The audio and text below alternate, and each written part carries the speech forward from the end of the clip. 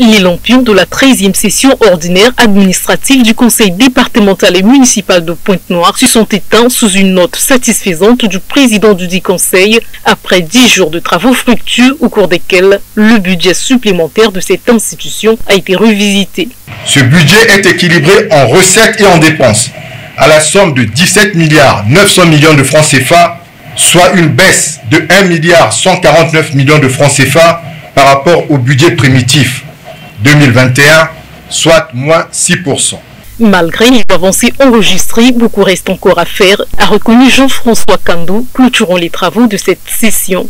Le rapport d'activité présenté par le bureau exécutif et le budget supplémentaire ont mis en évidence nos forces et nos faiblesses. Si des avancées certaines ont été enregistrées et réalisées, il y a lieu de reconnaître que beaucoup reste à faire et le chantier en notre présence commande de la prudence. Il nous faut redoubler l'effort, surtout dans le recouvrement des recettes du ressort de la municipalité.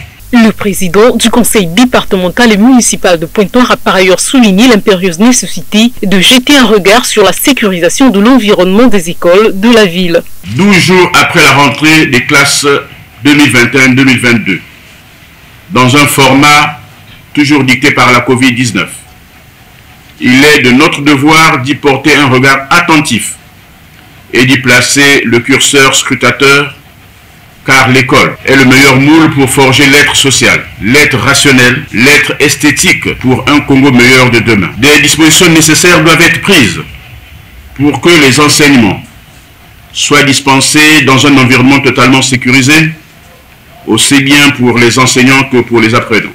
L'invite des populations à la vaccination contre la pandémie de Covid-19 a marqué la fin de l'allocution de clôture du 6 assises par Jean-François Kando.